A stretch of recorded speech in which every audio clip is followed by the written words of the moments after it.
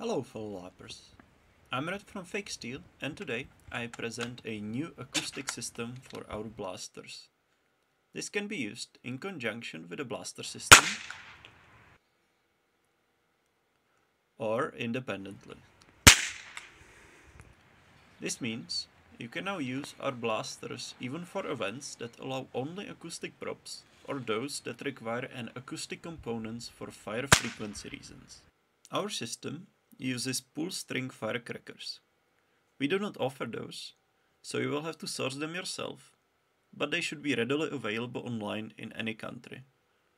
Make sure they are the type that pop when you tug on the string, not the type where you have to light it.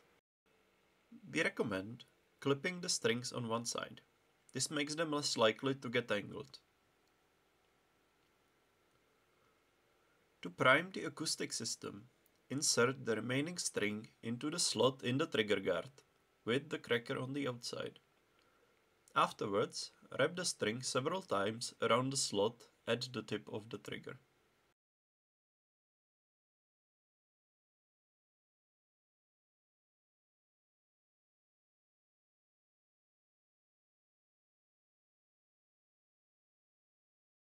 An alternative option is tying a loop on the string.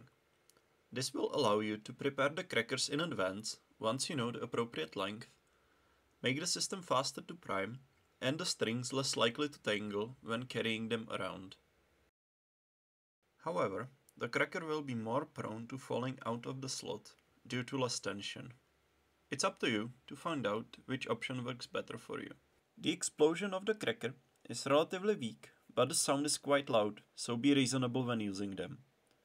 Don't shoot next to someone's eyes or ears, and if they fail to explode, don't pick them up with your fingers immediately. Follow the manufacturer's instructions. We hope that you have a lot of fun with this new option and see you next time.